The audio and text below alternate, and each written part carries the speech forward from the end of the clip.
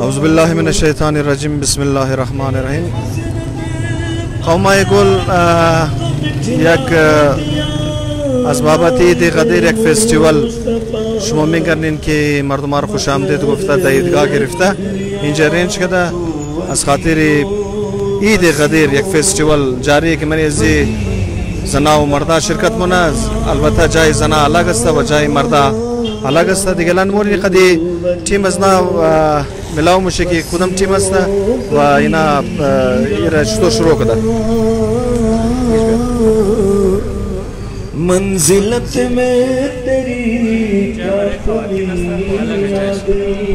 यादें اعوذ بالله من الشیطان الرجیم بسم الله الرحمن الرحیم از دیروز پروگرام عید قدیر فستیوال چه شروع شده اینجا که در سه روز است که از روز جمعه هفته اور اتوار پروگرام منعقد شده برای خ- خواهره و براره هستند اه، اینجا است جای خواهره که جایشی الگ جور کردن که اینجا براره بفرمایید ای از طرف القدیر کمیتی هستند القدیر کمیتی نه خیر نه خیر در کویته هست فعلا بله بله. اسپانسرش یکی هستن که آقای وجدانی آقای سید هاشم موسوی که زیر اندراج زنه هستند مقصد از ذکر است سفر رسول الله هست که حج آخر چی که است او در عید قدیر موگن که چیکار شده بودن که امو کاروان چی که است امو فستیوال چی جور شده از شبیه شهر مدینه شبیه صحرای قدیر خم اور شبیه مکه مکرمه است. در زی فستیوال که است باین پیش باین برشم نشو بدم. منقبت خانی مونه؟ بله بله. اینجا منقبت خانی و اینا هم شروع است. دیگه پیش اینجا همونطور که میگنین هزاره دیگه است در علمدار رو که از سه روز این پروگرام منعقد شده که از ساعت 6 بجه تا به 10 بجه شو این پروگرام هست 6 بجه پیشین تا 10 بجه شام این لفت که است ای از دیروز از دیروز روز جمعه این پروگرام شروع شده بود دیگه که امروز روز دویم شیه اور صبح روز آخر شیه است اینجا که است برای بچه ها coloring اور ای چیزا که است که قصه اصحاب کسا ره برشان مگه قصه روز غدیر برشی مگه قصه عید مباهله ره برشان مگه که اینجا بس انعامات و اینا میدن برای بچه اینا که اینجا اینا coloring و اینا که یک time pass ی شونه برای بچه اور یک حوصله افزایی شونه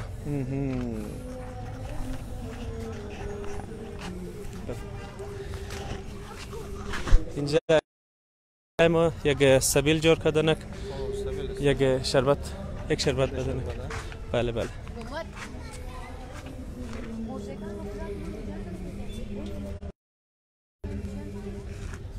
نوش جان زنده باشین جور باشین یعنی شربت سبیل من نازده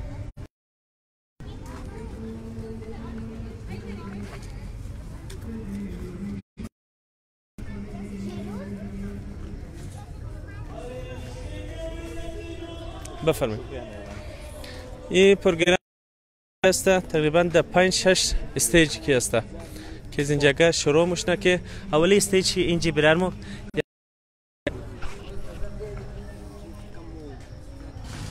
کربلای در. السلام علیکم. یک توضیح مختصر اگر داده. بسم, الله الرحمن الرحیم. مؤمنین عید قدیر تبریک میگیم. و از خداوند متعال میگیم خداوند به این عید پربرکت عیدی مر فرج و ظهور آقا امام زمان قرار بده. امروز روز عید قدیر چه روزه؟ رسول خدا میفرمایند روز قدیر خم برترین و بالاترین عیدای امت ما به این روز خداوند به ما دستور داده برادرم علی ابن ابی طالب به عنوان خلیفه و جانشین بعد از خود معرفی کنم.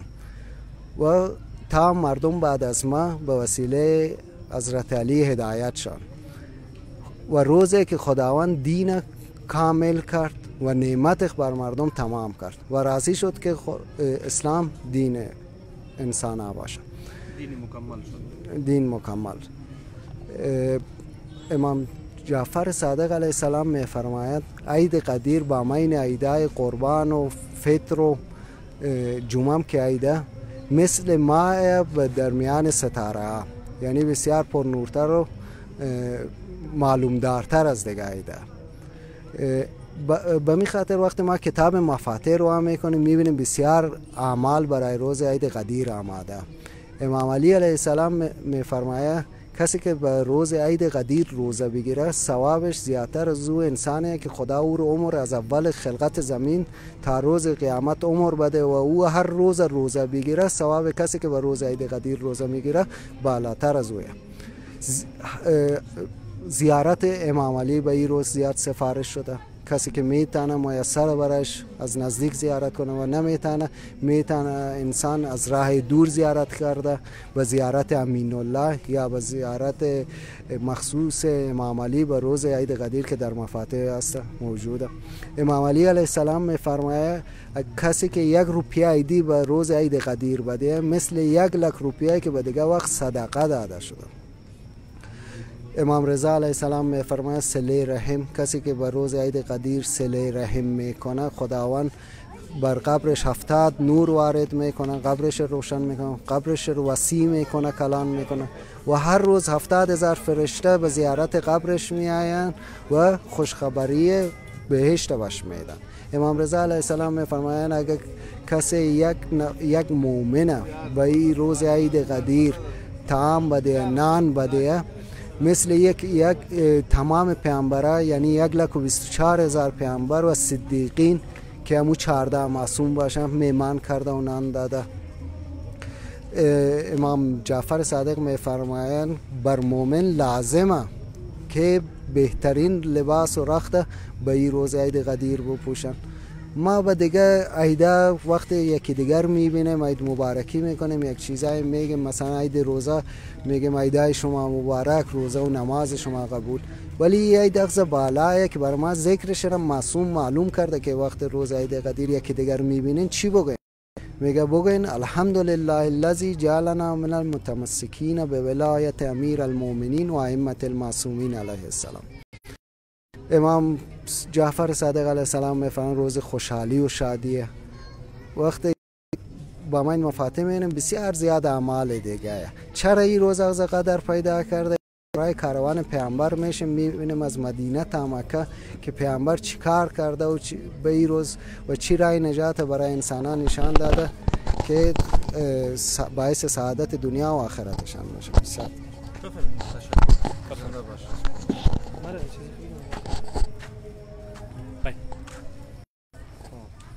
جان اینجا که هستن شبیه شهر مدینه را جور کردن که بله بله شبیه شهر مدینه هستن که از اینجا به بعد دوست دیگه ما همیشه این دیگه نه این دوست مو بکنم شما دوست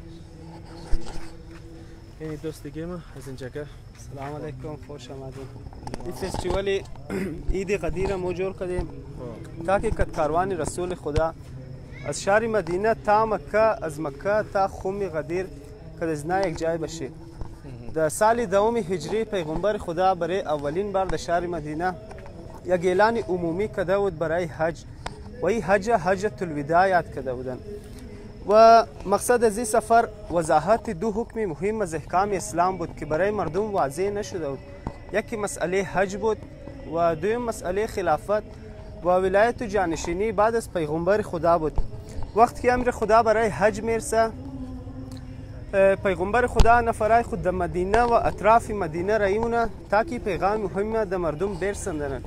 و این پیغام مهم در مردم که میرسه مردم از اطراف در مدینه ماین تا که کت کاروان رسول خدا یک جای شده و کد از حرکت کردن. با حرکت کاروان رسول خدا بین راه مدینه تا مکه یک دیگه قبیله ها هم بود. شهر یمن بود که مردم از اونجی هم در از کاروان اضافه شده رایی بودن. رسول خدا یک اشاره کده بود که امسال سال آخر عمر ماسته و جمعیتی در حدود یک لک و بیست هزار نفر در از مراسم حج شرکت کرده بودند که فقط هفتاد هزار نفری اونا از خود مدینه که د پیغمبر یک جای حرکت کرده بود اهل بیت معظم رسول خدا از جمله حضرت زهرا سلام علیها امام حسن علیه السلام و امام حسین علیه السلام و دیگر زنان و اولادهای پیغمبر هم در این مراسم حج که زنا یک جای بودند. در دستور رسول خدا مردم لباس احرام کرد خوبال مونن و خود رسول خدا دو لباس احرام کرد خوبال مونه و غسل مونن. برای احرام بسته کدوم مورن تا مسجد شجره. مسجد شجره نزدیک مدینه بود و روز هفته 25 ماه ذوالقعده این کاروان حرکت مونه طرف مسجد شجره. و از اونجا بعد دیگه دوست مو برایشون توضیح میده. تشکر.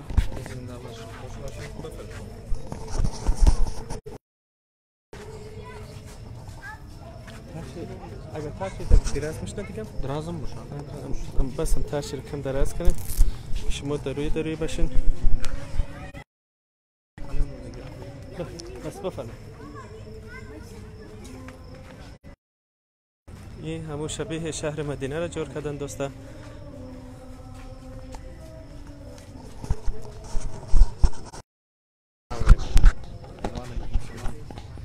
بسم الله الرحمن الرحیم 25 رسول خدا صلی الله علیه و سلم از شهر مدینه بیرون میشن میان به مسجد شجره. اینجا احرام بسته میکنن نماز مغرب و شیخ میخوانن. و از منج سفر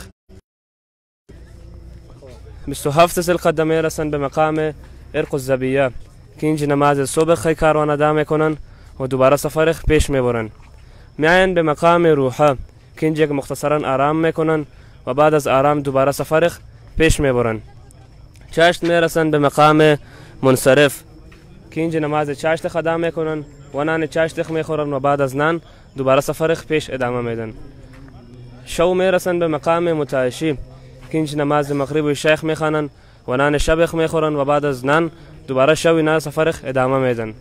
صبح میرسن به مقام اسایه که اینجا نماز صبح میخوانن و دوباره بعد از نماز سفر ادامه میدن. 28 یا 29 ذوالقعده میرسن به مقام ارج که اینجا رسول خدا صلی الله علیه و سلم آرام میکنن و بعد از آرام دوباره سفر ادامه میدن. سی ذوالقعده میرسن به مقام ابوا و ابوا و جایی که قبر مادرش حضرت امینه هم امین است که وقت پیامبر ریزه بود مادرش از مدینه سفر میکنن میان سون مکه. و از مکه میخواین پس برن سون مدینه که بین رای مدینه و مکه اینا امینجی به مقام فوت میکنن.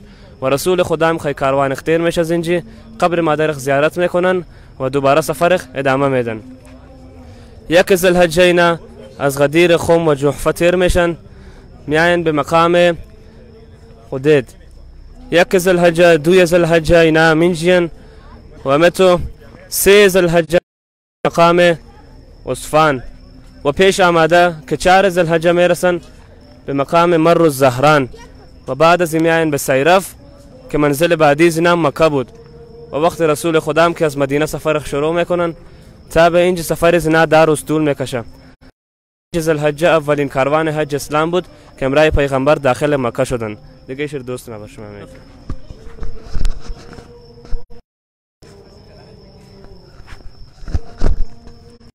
شما میگم سلام علیکم پیش تشریف در یمن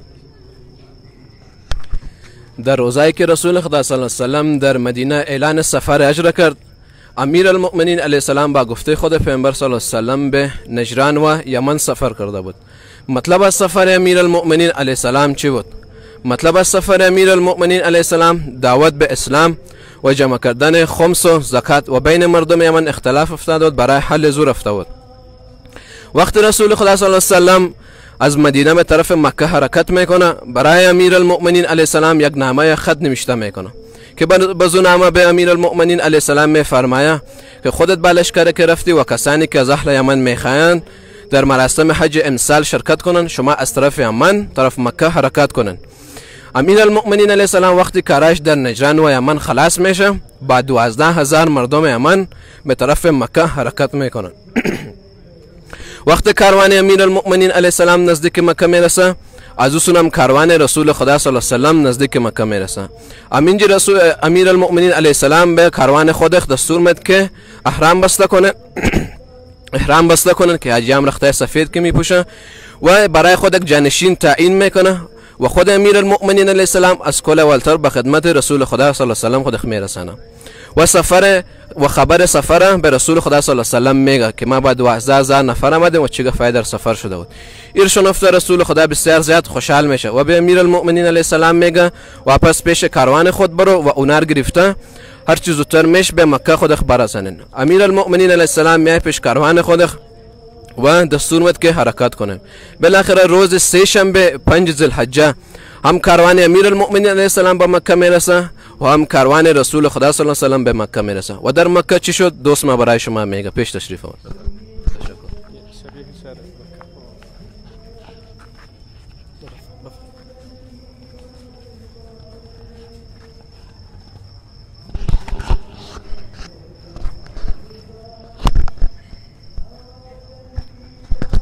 یک کاروان خدم عملی علیه السلام از طرف یمن با دوازده هزار نفر میاین طرف مکه و یک کاروان دیگری هم بود که از مدینه خد خود رسول خدا صلی الله علیه وسلم میاین طرف مکه. یه هر دو کاروان ما بین سرزمین پاک مکه وارد میشن و یه ولی وار بود که رسول خدا میخواست یک حج کامل بجا بیاره و از این حج دو هدف مهم داشت. اولی که احکام و اعمال حج به مردم یاد بده. دومی که یک پیغام مهم داشت که او پیغام مهم جانشینی و ولایت امام علی علیه السلام بود. در روز نهم ذوالحجه سفر حج رسول خدا صلی الله علیه وسلم آغاز میشه و مردم میاره به میدان عرفات. اینجی اعمال عرفه رو بجا میارن در روز دهم ذوالحجه اجیار میاره به مقام منا اینجی اعمال قربانی بر بجا میاره. رم جمرات که شیطان به سنگ میزنه بعد از او اجیار میبره بر طواف کعبه و سه روز حج مکمل. بعد از او در روز دوازدهم ذوالحجه اجیار واپس میاره به مقام منا اینجی امو چیزایی که از دیگه انبیا به عنوان وراثت به رسول خدا که رسیده بود. بعضی 6000 سال که معنی زو اوصاف حضرت آدم ورقه حضرت نو کتابای آسمانی انجیل زبور تورات پیران حضرت یوسف عصای موسی انگشتر حضرت سلیمان به 6000 سال که به رسول خدا رسیده بود به مقام منا به روبروی اجیا به سپورت امام علی علیه السلام می‌کنه. به می وقت از آسمان وایمش جبرائیل نازل مش که خداوند متعال بر امام علی علیه السلام یک لقب انتخاب کرده. و می‌خواه شما این لقب به روبروی جيابش أتاكونن. ولقب تشيبو او لقب امیر المؤمنین بود. سپس رسول خدا صلی الله علیه وسلم امت می‌کنه. این لقب بر روبروی اجیا به امام علی علیه السلام عطا می‌کنه و به اجیا میگه سلام بدن و بگن السلام علیک یا امیر المؤمنین. اجیا امت دانه دانه سلام میدن و میان پیش امام علی علیه السلام مبارک بادی پیش می‌کنه که خداوند متعال بر شما تو یک لقب انتخاب کردم وقتی که سه روز حج مکمل شد و این مراسم به اختتام رسید مردم مکه کلانای مکه میان پیش رسول خدا خدا. چرا که رسول الله ده سال شده بود به مکه وارد نشده بود. از مکه دور بود جلاوطن بود. با همین خاطر که به مکه دوستایش بود صحابیایش بود همسایهایش بود میخواست از رسول خدا که یک چند روز خود چند قیام کنه. ولی رسول خدا انکار میکنه.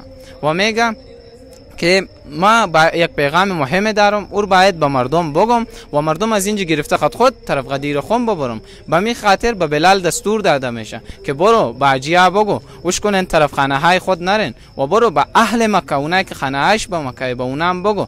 غیر از کسی که یک ضروری کار نداره یا معذور نیه دیگه هیچ کس در مکه باقی نمانه. و همه تو میشن. مردم مکه میاین یک جمع میشن و او کاروانی که رسول خدا از مدینه آورده بود و او کاروانی که از یمن آورده بود این سیتا یک جا شده طرف قدیر خم حرکت میکنه. اینال پیش دوست ما که برای قدیر خم چیکار شده و به خود قدیر خم. تشکر.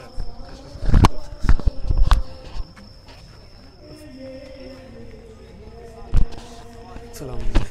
کاروان پیامبر همراه یک لک و بیست هزار نفر روز پنجشنبه چهاردهم ذوالحجه از مکه به سمت غدیر میرن که از- منیز یک لک و بیست هزار نفر دوازده هزار نفرش مردم مردم یمن بود که همراه مولا علی علیه السلام آمده بودن پنج هزار نفرش هم از مردم خود مکه بوده که به- حکم پیغمبر از مکه به سمت غدیر میرن.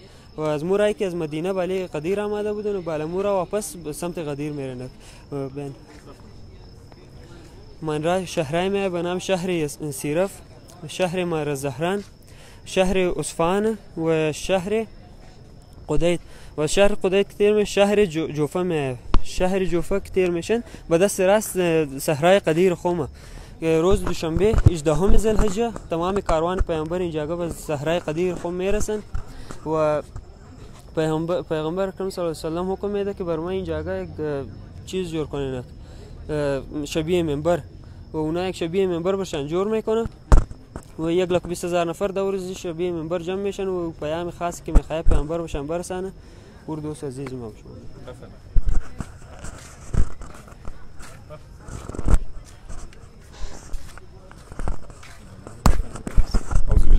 الشیطان الرجیم بسم الله الرحمن الرحیم.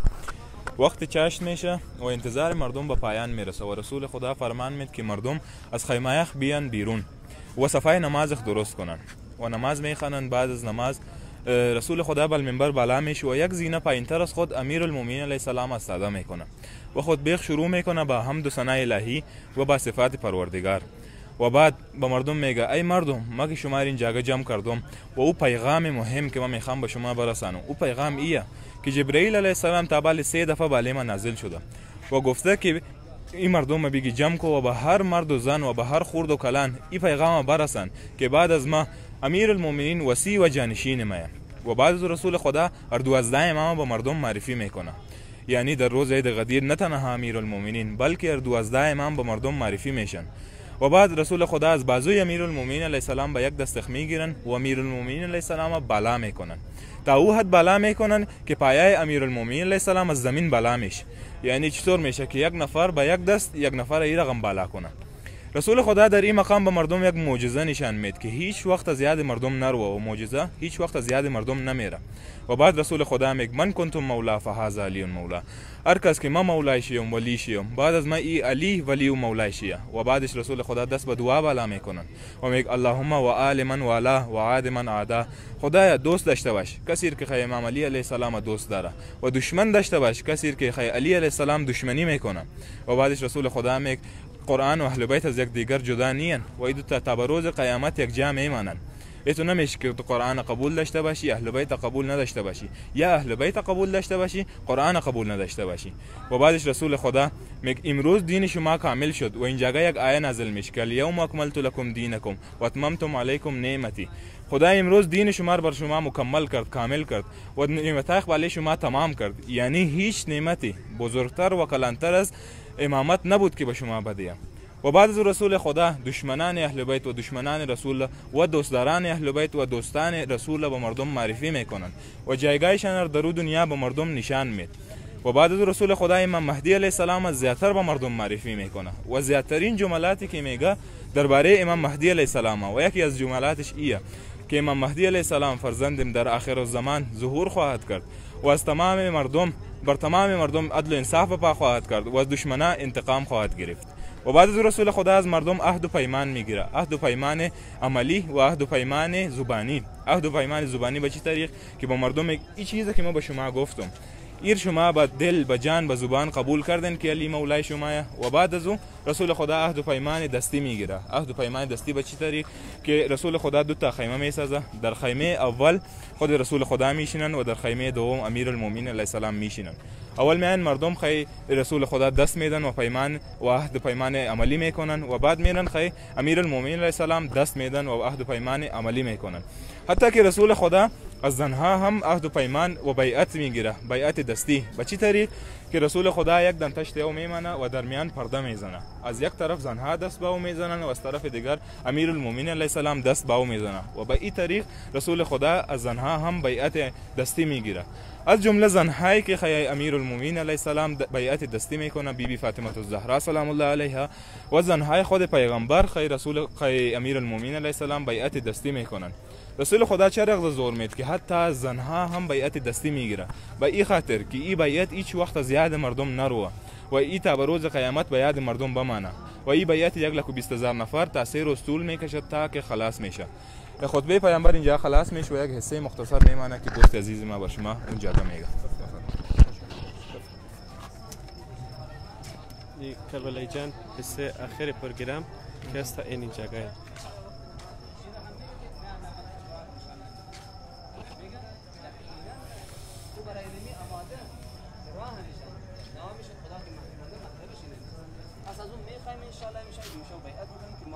جگه نزدیک میشیم یک سال کم سے کم یک سال کوشش کنیم و از او بعد هم از خودش طلب بکنیم. چرا که زنده هست میشنوه گپ از ما و هدایت می‌کنه. یک بیعت دیگه هم بکن بیعت دوم ما این باشد که از این سال شوی قدیر تا دیگه سال شوی قدیر یک سال. هر صبح چاشت شام برایش دعا بکنیم. چرا که خود مولا از ما خواسته که برای ظهور ما دعا بکنیم.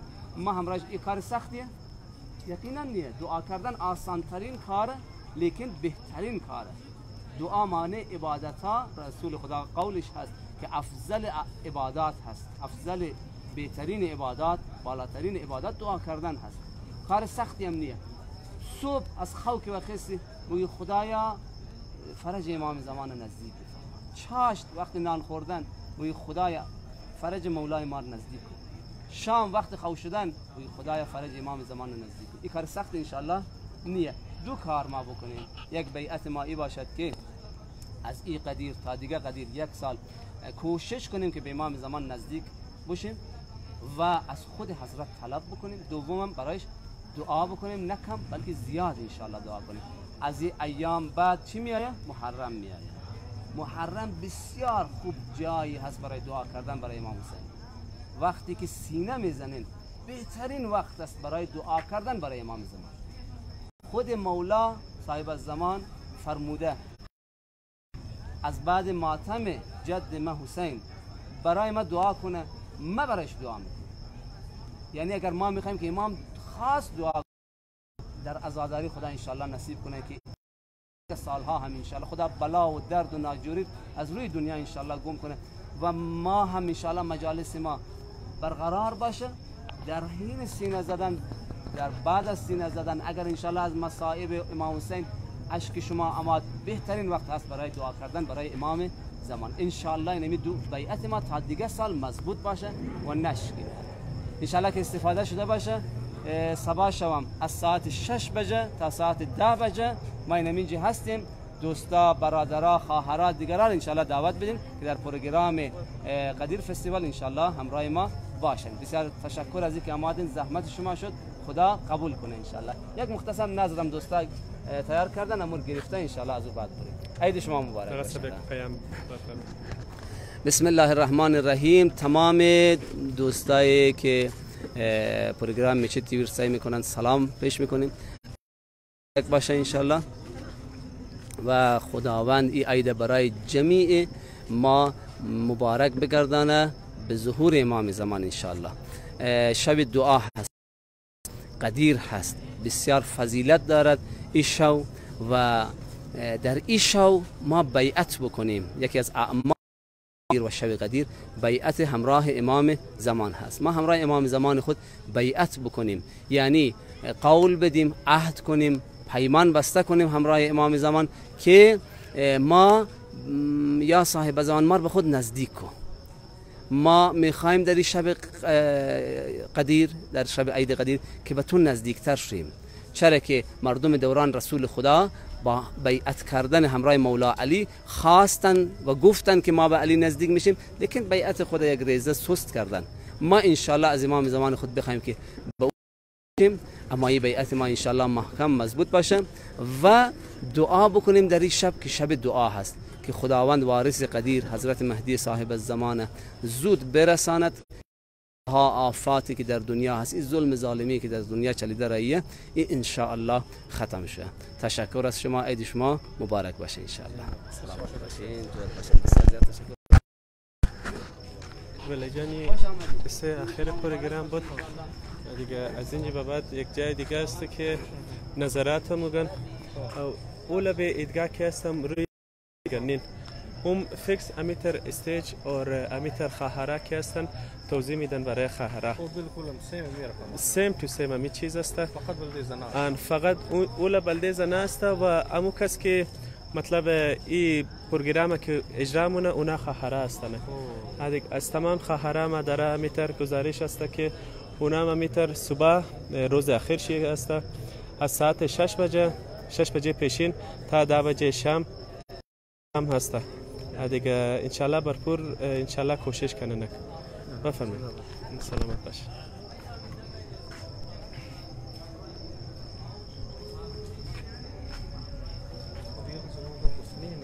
نه نه صرف دم آخر یک نظرات اینا است آن دیگه دیگه نظر خود صرف لیکه کدنی است دیگه دیگه همین